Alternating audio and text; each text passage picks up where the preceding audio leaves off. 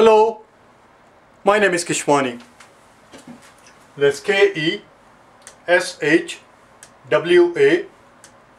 Keshwani. We are here because we want to learn how to solve algebra word problems. Today we'll do problem number 122 and 123. Problem number 122, as you can see, is already on the blackboard. Let's take a look, let's take a look at it. Before we actually do problem number 122, it's important, it is vital, it is crucial that you have watched number 65, 91 and 111. If you have not watched these three problems first, pause this video, stop this video and make sure you watch, just search for algebra word problem 65 and the video will pop right up and then 91 and 111 because this problem that we're dealing with uses the concept and the things that we learned in the first three problems. Let's take a look at it. It says that we have a it says that digits of a two-digit integers are reversed. So we have a two-digit integer, let's say 57.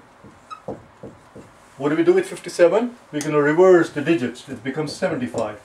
It becomes 75. And we are told that as a result, the new integer that we obtain differs from the original one by 36. For example, if we take 57 and subtract it from 75, you will see that we will not get 36. We'll get, we'll get 18. They differ by 18, not 36. Here we are told that as a result, when we reverse the digits, the new digit, new integer that we get differs the original one by 36. The question is, by how much do the two digits differ?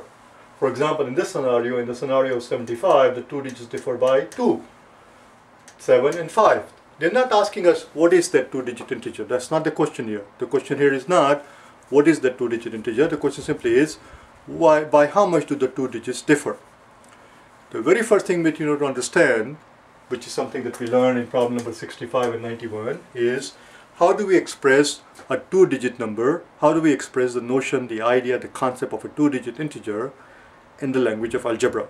For example, say for example, for example, if we're talking about if we're talking about two-digit integers being 75, and if we're going to say that x equals 7 and y equals 5, do we express the 75, do we express the notion of 75 as xy? The answer of course is no. Answer is no because in the language of algebra, xy means 7 times 5 which is 35 which is not what we're trying to express. We're trying to express the notion of 75 not 35. So the question is, in the language of algebra, how do we express 75 if x happens to be 7 and y happens to be 5? It's very simple. The 7 here that you see here is called the 10 digit. It's called tens digit. And 5 here is called the unit digit. The unit digit, not digits. The unit digit. Why is it called tens digit? It's called tens digit because that tells you how many how many how many tens we have. In 75, 75 is made up of 7 tens, which is why it's called 75.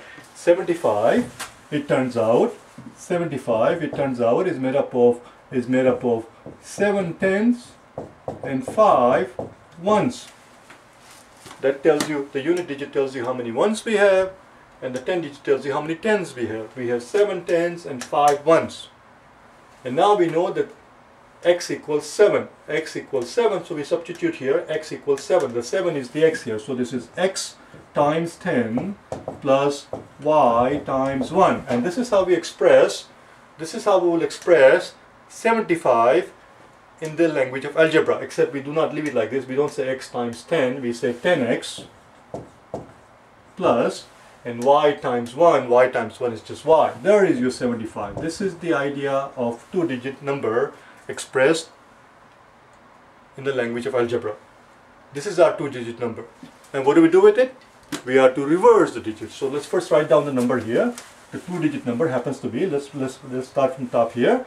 We're going to write it as 10x plus y. So this is our original number. What are we do? What are we to do with it? we're supposed to reverse the digits. 75 is it's become 57. In other words, the whatever the unit digit was becomes the 10 digit, whatever the 10 digit was becomes the unit digit. So here we'll have 10 times y because y was the unit digit. It becomes it, it appears in the in the place of 10 digits, and whatever, however many tens we had here, whatever was the 10 digit appears as a unit digit. Can you tell what mistake I just made here? I made a mistake inadvertently. We're not supposed to add the two numbers. We take our original two digit numbers, we reverse the digits, and then it tells you, then it tells you that they differ. The difference between the two quantity is 36. They differ. We have to take their difference. They differ by 36. Let me replace the marker, see if I can find a better marker because this one is almost dying. Hopefully this. That's it, we're done. The rest is very simple. The rest is, is just a one-step process. 10x, well let's open the parentheses. So we have 10x plus y. When we open the parentheses, we get 10y minus 10y. And then minus x equals 36 and then we have 10x minus x is going to be 9x and minus 10y and a y is going to give us minus 10y, uh, minus 9y rather, equals 36. Divide the entire equation by 9 when we find that x minus y equals 4. There you go. That's what they were looking for. They're not asking us what is that two-digit integer. The question simply was by how much do the two digits differ? It turns out the two digits differ by 4. So now the question is, so what is the two-digit integer? To which the answer is, we do not know. There is no way of finding it out because we have only one equation and we have two unknowns, the unit digit, the 10 digit, rather the 10 digit and the unit digit. We have two unknowns, only one equation is what is what, what we are given here. There is no way to figure out what is the two digit number. However, we could discuss all the possible scenarios that exist.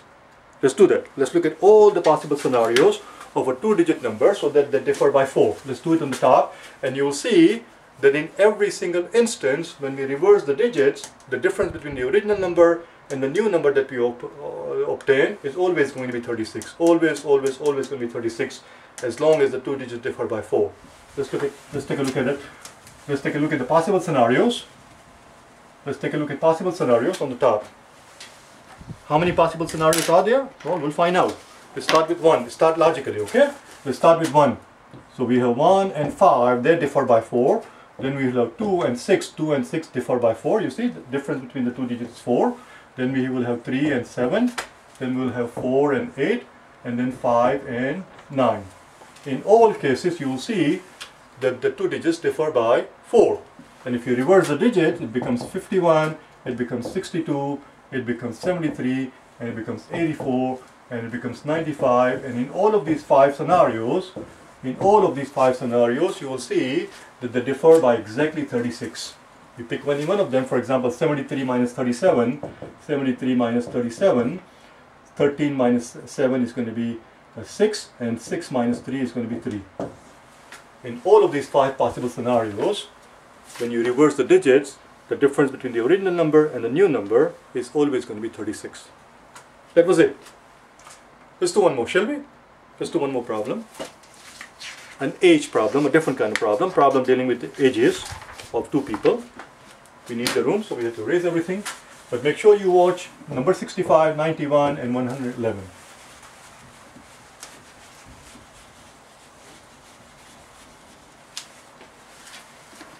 It says the sum of the ages of A and B, this is 123.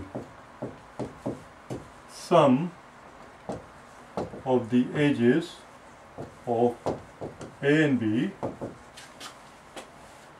is 46. We further told that 5 years from now, 5 years from now, A will be A will be 7 times 7 times as old as B. Question simply is what are their what are their current ages? So even if even if the problem had not said current ages even if the problem has not said the word current even if they had simply said what are their ages, it's understood they're looking for their current age. Because had it been a different time period, they would have said it. They would have asked, had they, had they been looking for a different time period, the problem would have specified. They would have said, how old are they going to be in five years' time, or how old are they going to be 20 years from now, or how old were they 10 years ago. It would have said that, it, it would have specified the time period. When the time period is not specified, it's understood that they're, they're looking for present. What are their ages? Let's do it, shall we? first thing first, first thing we need to do as always, as always in any word problem is to define your variable, your unknowns, the two unknowns that we're dealing with here, a is age and b is age, let's define them. So let, let small a be a is age and let small b be b is age. There we go, we have defined our variables, or have we? Is this, is this enough? Is this the right, uh, uh is this the right work? The answer is no this is not enough. This is this is this is very vague. This is very ambiguous. This is open to interpretation because what we have said is that let this quantity be a is age, let this quantity be b is age. But when the problem deals with more than one time period, we have to say what these variables are supposed to represent. Are these supposed to represent their ages five years from now, or are these supposed to represent their current ages? Let's define that. We have to say that. Let small a be is let that small a be is current age. And let small b be b's current age. Now we have done it. This is this is the better job. Now we can start our process. Uh, what do we know? We know that right now the sum of their ages is 46 so that's a very simple equation. The sum of their ages is 46 that's our first equation. That's very straightforward simple. So that's today. That's today now let's look at five years from now.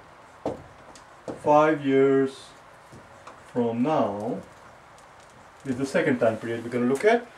What happens five years from now? Well, if A is A years old today, five years from now is going to be A plus 5. If Mr. B is B years old today, if B is to represent his current age, then five years from now he should be B plus 5. So far, so good, very straightforward. Now what sort of relationship exists between these two quantities or rather to be more precise what sort of relationship will exist not does exist but what sort of relationship will exist between these two quantities five years hence? Well the problem tells us what sort of relationship will exist five years from now. Five years from now A we are told is going to be seven times as old as B. This is going to be the B's age five years from now. If you take seven times this quantity that's how old A is. That's it we're done the rest is very straightforward. Let's do it together. The rest is very straightforward. What can we do here?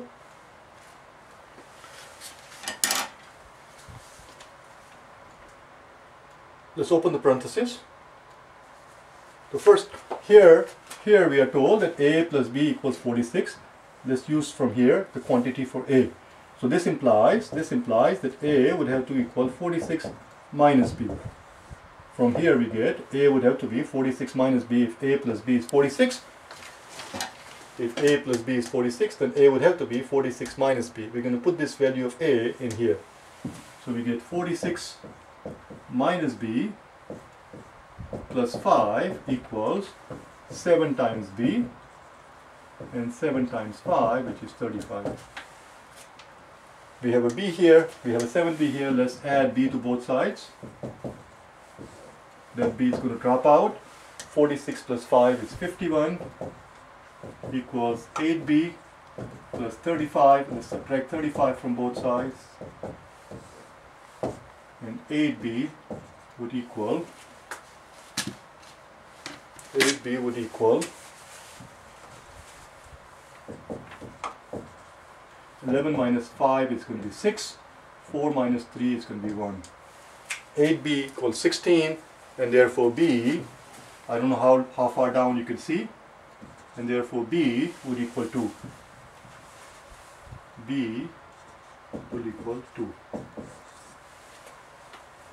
If B equals 2, then from this equation implies that A would have to equal 46 minus 2 or 44. All you have to do now at the very end is to verify our answer. We are claiming based on our work that we see, that, that based on the work based on the work that we're showing here, we are claiming that A is 44 years old today and B is 2 years old today. Let's verify it by looking at what happens 5 years from now. 5 years from now, according to the problem, A is supposed to be 7 times as old as B. Let's look at it on the top.